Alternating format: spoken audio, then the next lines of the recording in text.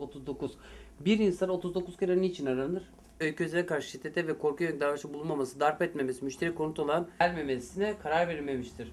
6 ay süreyle. Beraber yaşadığı tutuklu evin kontratı e, 12 Haziran 2011'den beri bu evde beraber oturuyorlarmış.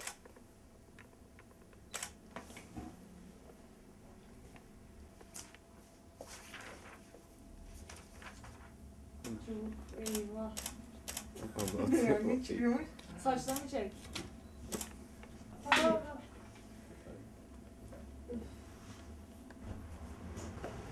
Sana bir gün güzel yemek yapayım.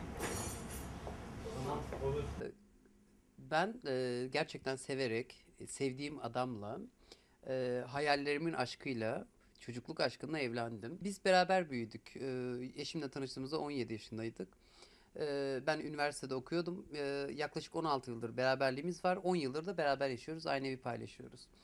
Hatta e, cinsiyet değişikliği operasyonumu da e, annem ve kaynatamın çektiği krediyle Ege Üniversitesi'nde yaptırmıştık. Eşim hatta boşanma dilekçesinde şey demiş, e, işte hiçbir zaman çocuğumuz olamayacağı için, e, bir aile o kavramı oluşturamayacağımız için işte boşanmak istiyorum demiş. Ve şiddet, içinde şiddetin olması hiç hoş değil. Bu aşamada benim eşimle e, evli olduğunu bile bile beraberlik yaşayan bir bayan ve bir de travesti arkadaşım var. Ee, hem travesti arkadaşıma hem de bu bayan arkadaşa tazminat davası açıyorum. Ee, avukatımla dilekçeyi hazırladık. Ee, hep aldatılır kadınlar, susarlar. Ee, işte boşa, boşanırlar veya boşanmak istemezler, çekmek zorunda kalırlar. Kumalar olur vesaire. Bence e, bir kadın da bir erkeğin de namusu çok önemlidir. Evlendiği zaman her şeyi bitirmeli. Eğer ilişkide e, cinsellik veya başka bir şey bittiyse e, bence evliliklerini bitirmeliler. İşte eşim transseksüel olduğu için hiçbir zaman çocuğumuz olamayacağı için ayrılmak istiyorum. Yok aile çevremde, arkadaş çevremde öykü transseksüel olduğu için e, çevrem zedelendi. Fotoğrafları gördüğü zaman gayet samimiler, gayet mutlular.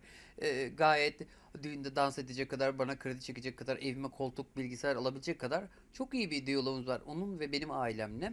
E, burada e, öne sürdüğü hiçbir dilekçe, e, dilekçedeki konu gerçek değil e, gerçekleri anlatsaydı olabilirdi. E, o nedenle ben boşanmayı kabul etmiyorum. Tazminatımı alırsam, nafakamı alırsam niye boşamayayım? Boşarım. Kendime göre bir yeni hayat kurarım. Ama ben bu hayat için çok bedel ödedim. Bakın en basitinden kulağımı kaybettim. E, kafamın arkası yarık içinde. Ben kısır bir kadın da olabilirdim. Yani kısır kadının kocası boşaması mı gerekiyor kısır kadını? Ne demek bu yani? Çocuğum olmuyor. Evlat edinebiliriz. Ne kadar ço- yurtlarda bir sürü çocuklar var ya yazık günah. Bak şu hayvanlara bakıyorum. Hiç olmazsa bacağıma sürtünüyorlar. Ee, fakat insanlar çok nankör bence. Ee, eşim bana bakacağına ben eşime bakıyordum. Böyle bir dünyada, böyle bir yaşantıda böyle bir şey olabilir mi? Mantıksız bir şey. Amacım CHP'den milletvekili olmak ve olacağım. En geç 8 yıl zaman biçiyorum kendime. Çünkü ben başarılı bir kadınım. Doğru hareket ediyorum, yanlış hareket etmiyorum. Cinsel kimliğim benim için kimsenin önemli değil. Ben yatak odasında yaşadığım hayat kimseyi ilgilendirmez. Benim kişiliğim ve başarılarım insanlar için önemli olmalı. Cinsel hayatım değil.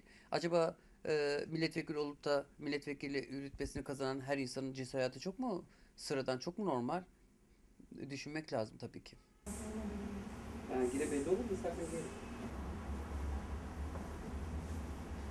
Bizler e, kadından daha kadın olmak için e, mücadele ettiğimiz için e, bütün ev yemeklerinin hepsini bilirim. Evde bir kadının eşime gösterebileceğinin e, belki de 10 katını ona göstermişimdir. Bu işte yemek olsun, temizlik olsun, işte diğer konularda ilgi alaka